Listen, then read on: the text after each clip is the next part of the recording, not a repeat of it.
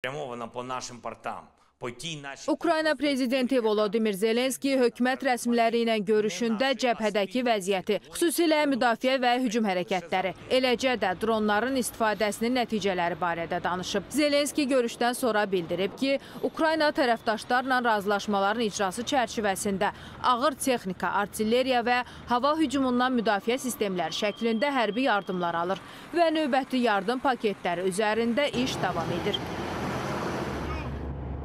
Yeri gəlmişkən Danimarka və Niderland F-16 qırıcılarının Ukraynaya göndərilməsi üçün Birləşmiş Ştatların icazə verdiyini təsdiqləyib. Biz müttəfiqlərlə birlikdə növbəti addımları dəqiqləşdiririk deyə Danimarkanın Xarici İşlər naziri Lars Løkke Rasmussen bildirib. Nazir qeyd edib ki, qırıcı təyyarələrin Ukraynaya təhvil verilmə vaxtı hələ müəyyən edilməyib.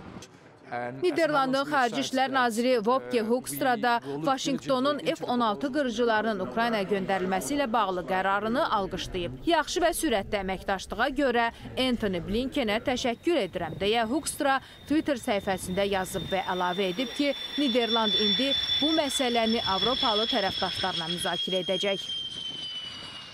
Ukraynanın Fövqəladə Hallar Xidməti Mikolayev regionunda nüvə fəlakətinə reaksiya üzrə təlimlər keçirib.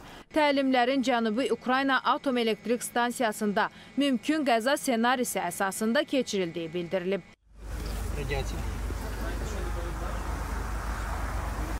Region administrasiyasının rəhbəri Georgi Reşetilov Reuters agentliyinə müsahibəsində deyib ki, təlimlər əhalinin hər bir hadisəyə hazır olması məqsədi ilə keçirilir. Amma bu, yaxın keçmişdə hansısa hadisənin gözlənildiyinə dəlalət etmir. Sadəcə hər bir departament istənilən vəziyyətdə vəzifəsini bilmək üçün təlim keçməlidir.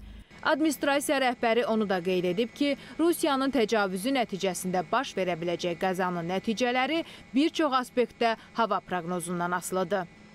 Xavər Əliyeva, Zümrüd Hüseynova, Nigar Etibar, ASTV xəbər.